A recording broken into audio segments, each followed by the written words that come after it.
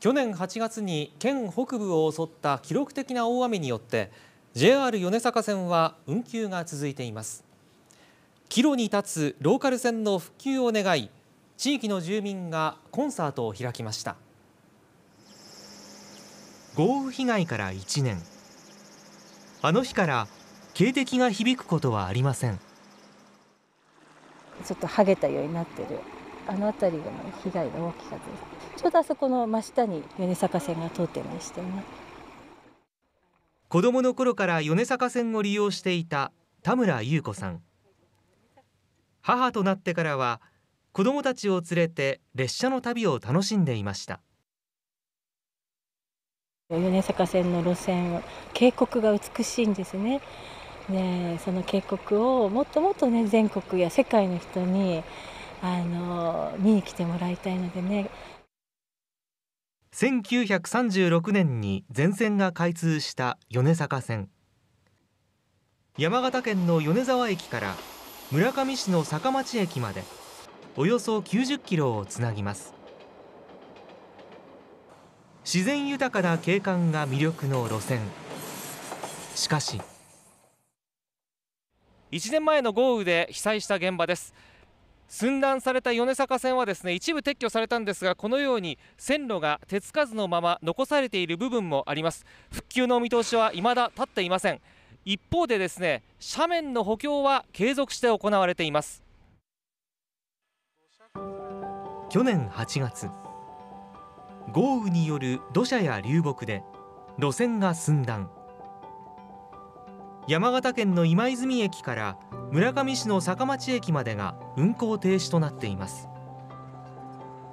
電車通らないなんて草も生えるし、線路はしゃべるしね。今通らなくなったからこそ思うんだかもしれないけどもやっぱり今度は利用したいなって思う思うよね、うん、開通してほしいですよね JR によると復旧のための費用は86億円。さらにコロナ禍前米坂線は赤字路線でした。復旧後 JR なのか沿線自治体なのか誰がどのように維持していくのか見通しは立っていません。JR は今後バス路線への転換なども含め沿線の自治体と協議を進めていく考えです。米坂線の復旧を願う関川村の田村さん。実は篠笛奏者という一面もあります。この日豪雨で大きな被害に遭った関川村高田地区の住民を招いてコンサートを開きました。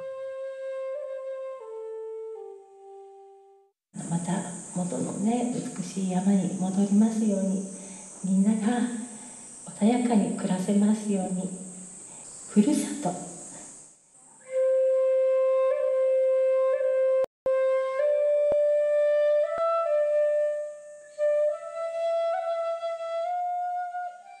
復旧は未だ道半ば。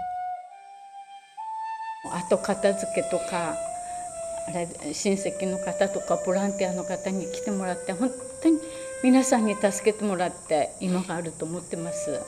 もうなんかこの場所にいること自体が幸せなんだなと思って去年のあの水害を思い出してこういう状態に戻れるのかってことを考えてまして涙が出て。災害で人も離れてまして村から出ていく人も多いですがまたかつてのねにぎわいになってくれたらいいなって。JR 米坂線を含めた復旧はどのように進んでいくのか。住民たちはふるさとに不安なく暮らせる日が来ることを願っています。